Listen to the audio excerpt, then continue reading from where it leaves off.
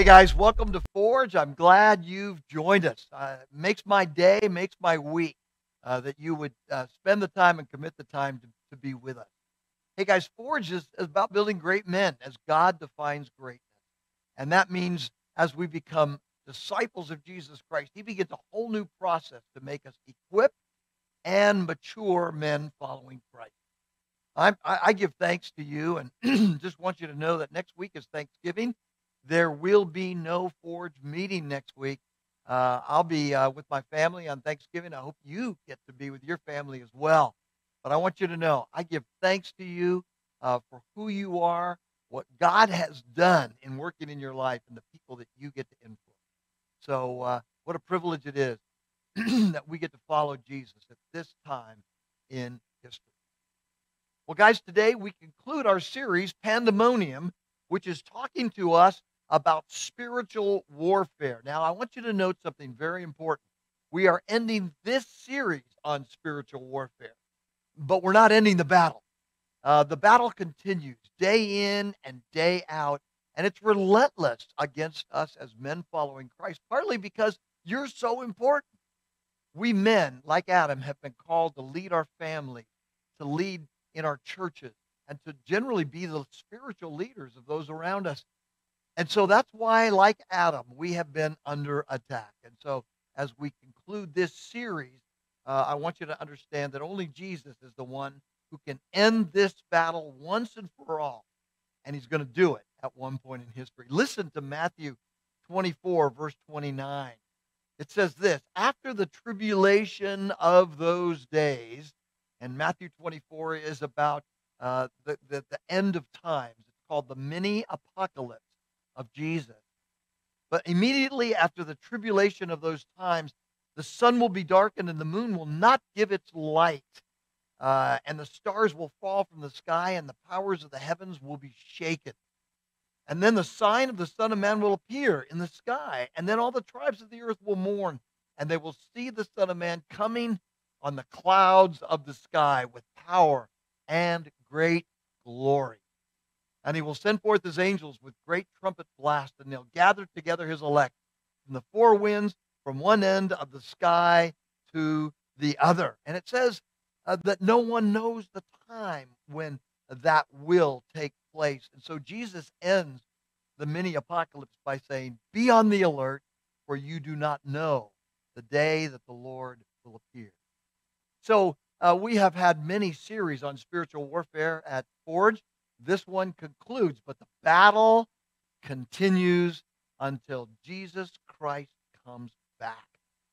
And that's one reason why Forge is so important. Not only the videos, uh, but as we gather together in our Forge groups. Because, in a very real sense, Forge is sort of a, a boot camp, a basic training for those who are new to Christ, but it's also a ongoing tactical training base for us as we follow Jesus because the battle is relentless. The enemy never gives up and he wants to take men down because, catch this, as the men of the church go, so goes the church. That the church and the family never gets beyond the quality of its men. Same is true for a culture. But if men flourish, then women, children, and churches flourish. So understand that you're important, and that's why the battle against men is so relentless. Well, today, what I want us to see as we look into this uh, uh, last series, uh, last in this series, is to look at one more strategy that Satan typically uses in order to take down men. Uh, with the downtown Zoom group on Tuesdays, I was interacting with uh, the series of uh, number three as we looked at the 12 strategies of satanic pressure on us. And I said, Are there any other strategies that you guys have experienced uh, that, um, that Satan uses on a regular basis to take us men down? One of the guys said, Yeah, lust. And that's true. And so, what we want to do is we want to take a look at lust today and, and see that that is one of the primary strategies that Satan uses to take men down, to get us out of the game of serving him by fueling our sexual desire. Now, up front, I want you to know uh, that, uh, that, that there's good desire and there's bad desire.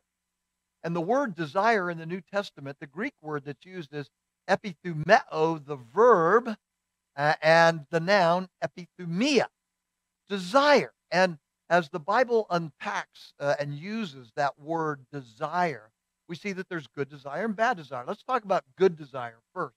Let me give you a couple of examples. In Matthew 13, verse 17, Jesus says this For truly I say to you that many prophets and righteous people longed to see what you see and did not see it, and to hear what you hear and did not hear it. The word longed there is the word epithumeo. It's the, it's the verb. They desired to see uh, the fulfillment of the gospel in Jesus coming, but they didn't get to see it. In 1 Timothy 3 1, we see this. It is a trustworthy statement that if a man aspires to the office of overseer, it is a fine work he desires to do. Epithumeo can be translated long for or desire. And then in 1 Peter 1:12, it was revealed to them that they were not serving themselves, but you in these things, which now have been announced to you through those who preach the gospel by the Holy Spirit sent from heaven, things into which angels longed to look. And so, so good desire, uh, there is such a thing as good desire. But because we're sinners, we, we are not born having good desire. Uh, where do good desires come from? Well, good desires come from a good God. And so we're born with Adamic sin, the New Testament tells us, Romans 5. Check it out if you don't believe me. We're born sinners. And so as a result, uh, there's nothing that we desire that is perfectly good. And there are no works that we do that are perfectly good. What I call God level good. You say, well, Pete, can't people do something uh, that is relatively good? Can't even unbelievers do things that are somewhat good? And the answer to that is yes, of course. Relatively speaking, uh, unbelievers can do good work, but not God level work. They, they can't have God level desire. Why? Because their nature is fallen. It's corrupted. It's depraved, to use New Testament language. And so the reality is, uh, guys, and the fact is, some sinners are worse than others, of course. Um, uh, I, I, think that Karl Marx fueling uh, in his philosophy a Lenin, a Stalin, a Hitler, a Mao, uh, uh, a Idi Amin, and a Pol Pot. Interestingly, all of those leaders had drunk deeply at Marxist, Leninist thought.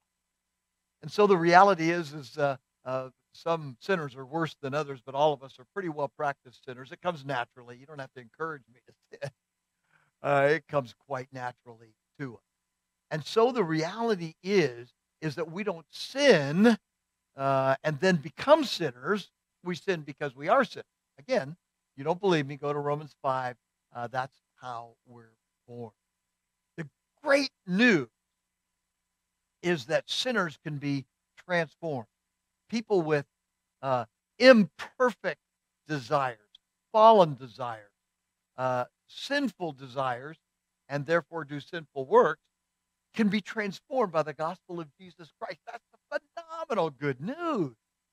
And that's the good news we adhere to at Forge.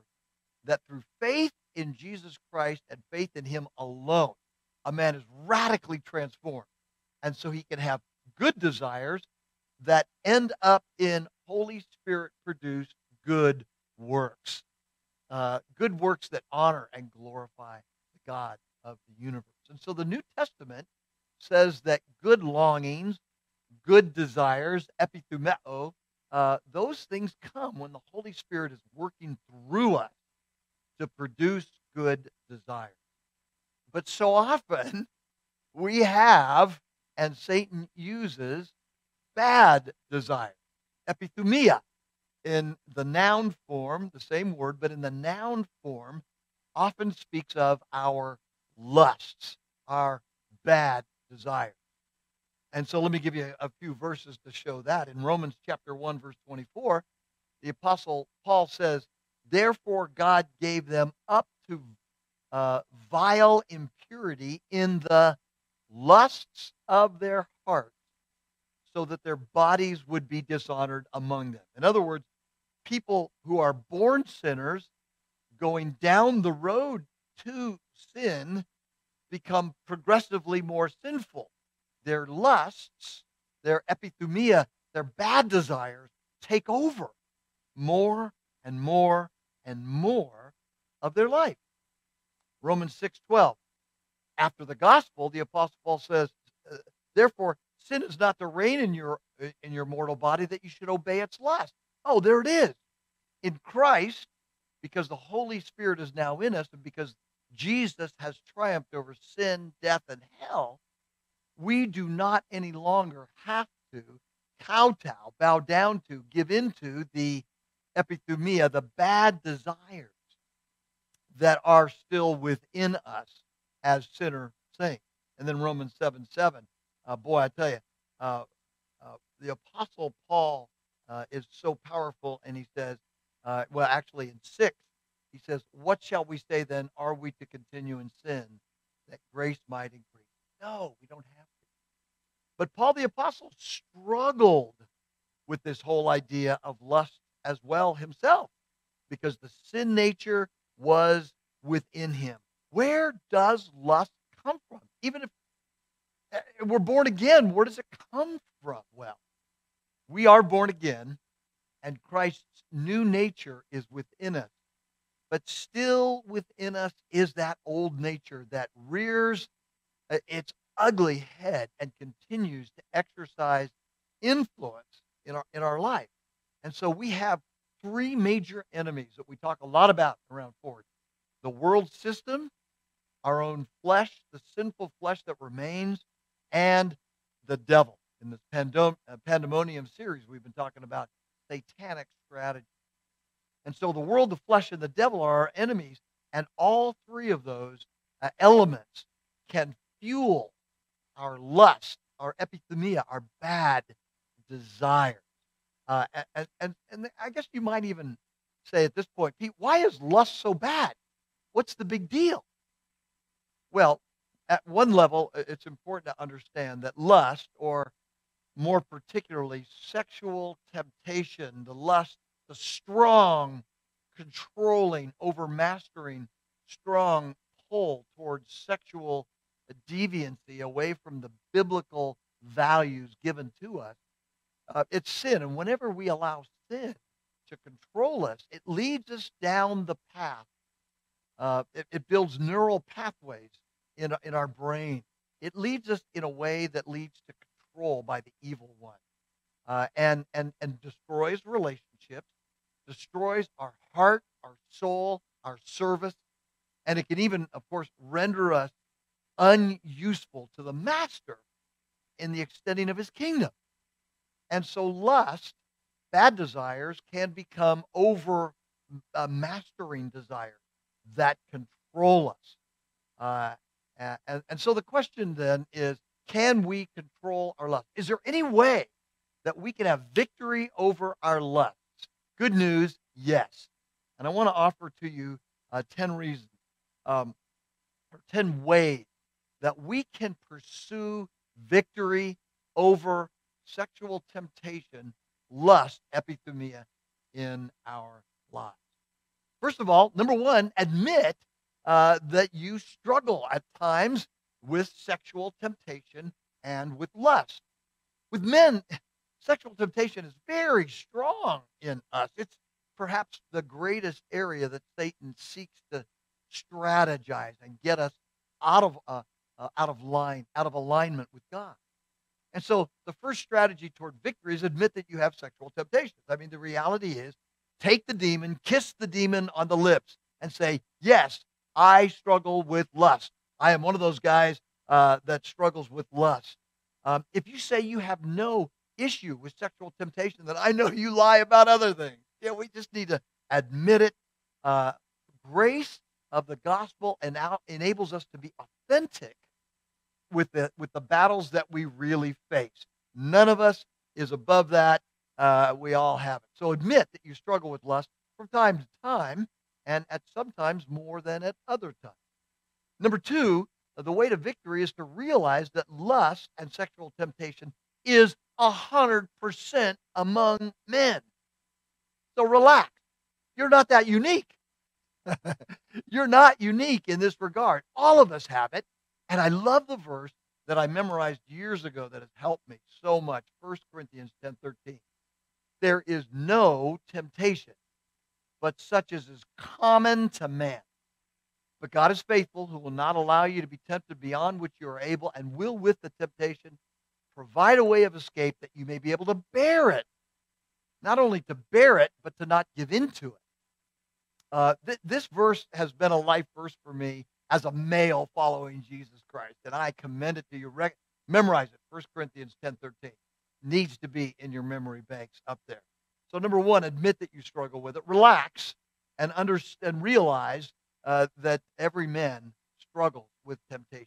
That is the way to begin the path to victory. Number three, pray for power. Pray for power. Someone has said that prayer is not preparation for the work, prayer is the work. And the Apostle Paul in 1 uh, Thessalonians 5:17 says, pray without ceasing. There ought to be an ongoing dialogue as we follow Christ. great men have that ongoing dialogue with the living God 24 7, 365. We just have that. We started in the morning in our daily appointment with God, and we never let it up. We, we, we develop the discipline of knowing uh, that, that we can connect with our Father, with our Lord Jesus Christ, by the power of the Holy Spirit all day, every day, and we keep the dialogue going. And so prayer is a means for us to fight the enemy. In fact, prayer is how we fight like men.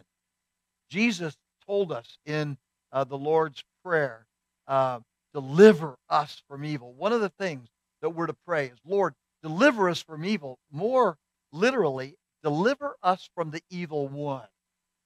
And that's why praying the Lord's Prayer every day in the morning is a good part of your spiritual do- discipline of the dog time because that reminds us as we get up from our desk or table and go out into the world that we're going out into the battlefield. Another thinker put it this way instead of carrying the world on your shoulders, uh, talk to the one who carries the universe on his. I love that.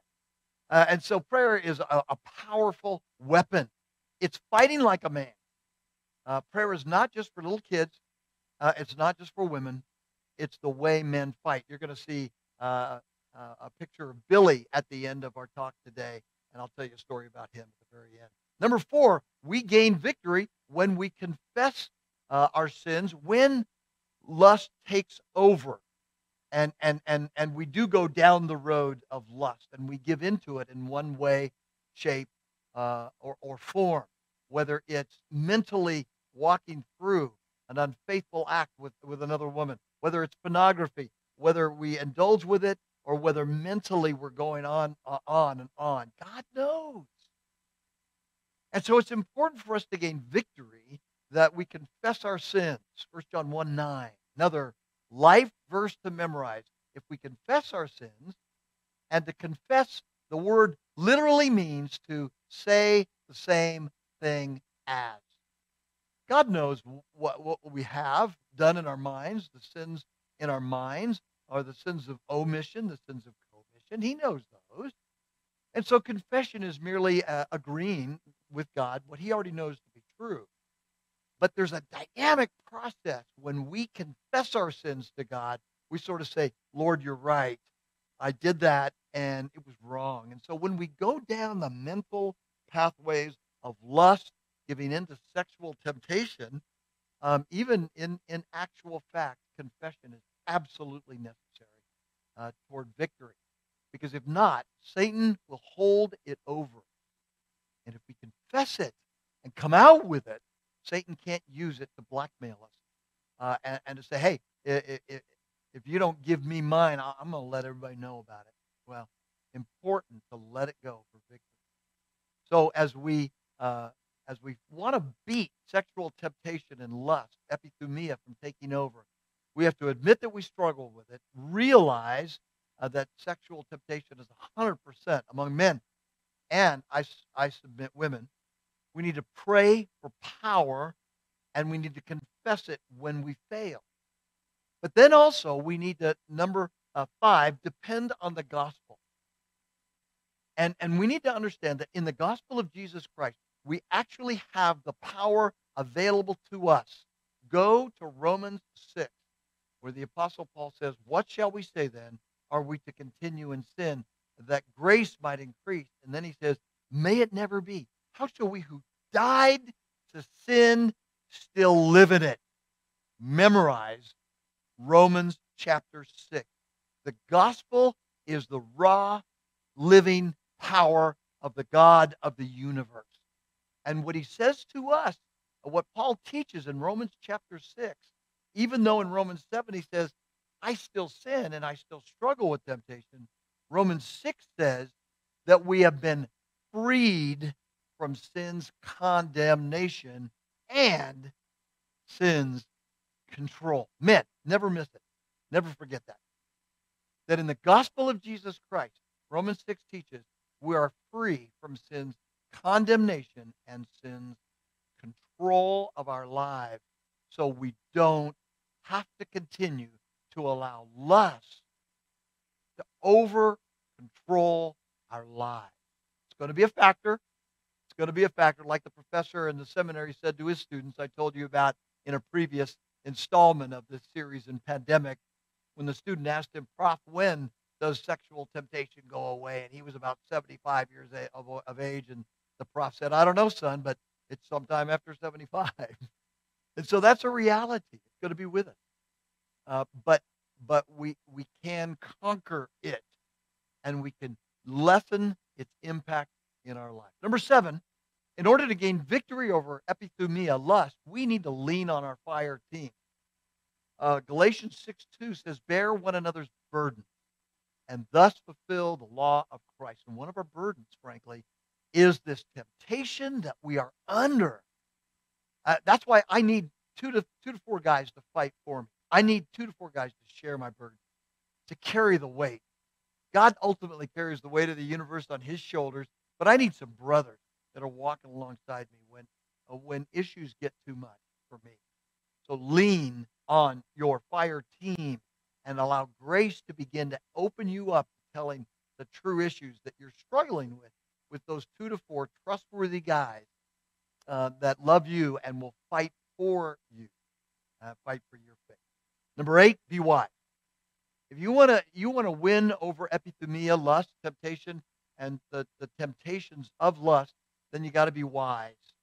Uh, we might put it this way if you don't go where you shouldn't go, you won't do what you shouldn't do. We need wisdom, skill. Uh, and, and, guys, there's places you shouldn't go, physical places. Maybe they're bars, other places where you shouldn't go, uh, where lust will be fueled. Uh, and several of those places are online. Uh, the number one um, industry online is pornography. And, and so, guys, we need to understand that we can't go to certain places that fuel our lust. Maybe it's TV shows. Maybe it's talking to a neighbor. Maybe it's friends that fuel your lust. Guys, the reality is um, we got to be careful where we go and where we put our head, what we put our eyes onto. An old preacher put it this way. He said, if you give the devil a stick, he ought to beat you with it. and it's important for us to understand that um, a lot of times I have to take responsibility that I'm the number one. It's my flesh.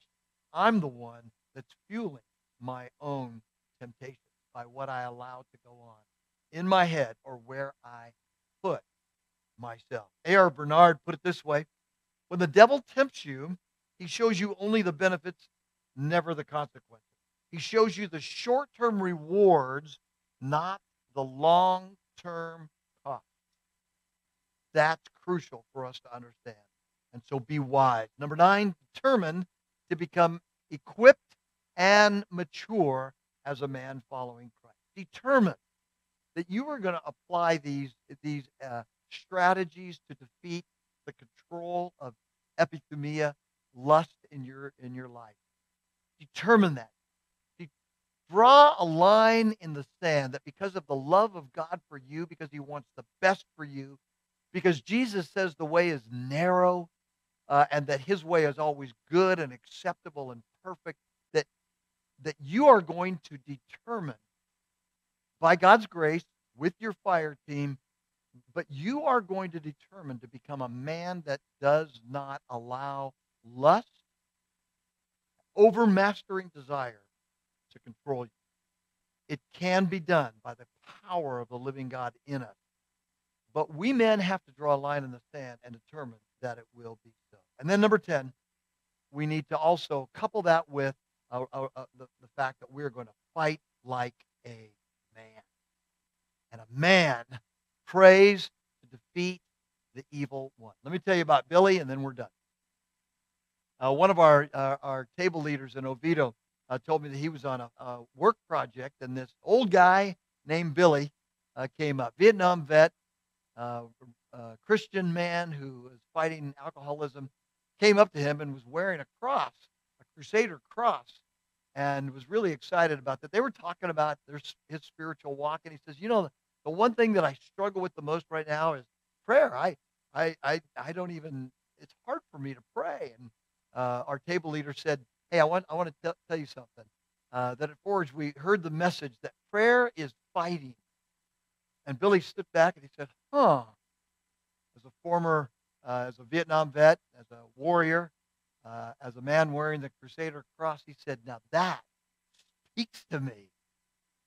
Uh, and, and, our table leader said, Yeah, that's fighting like a man. Fight like a man is prayer to defeat the enemy that wants to take you down. So, guys, I want to end this by saying, Fight with me, fight for me, I'll fight for you, but let's fight like a man so that the enemy doesn't. You take it to heart. Let's pray. Father, be with us in a powerful way. Enable us to be your men who are not overcome by epithumia, by lust. May we be filled with your spirit and controlled by your power. For the good of everyone around us, for the glory of your name and the extension of your kingdom, as we pray in Jesus' strong name. Amen. Well, guys, thank you for uh, tuning in to us today at Forge. I thank you for your partnership. Uh, we need you to stay on the road. These have been tough economic times for everybody I know. And some of you can't be partners. But in order for us to move boldly, energetically, uh, with excellence and extension, the three E's that we're thinking about for the next year uh, energy, excellence, and extension, we do need your support. So think about giving us a year end gift and it's tax deductible. Go to forgetruth.com and you can become a partner. Thank you for your partnership, your friendship, and spend some time in a Forge group this week. God bless you. See you soon.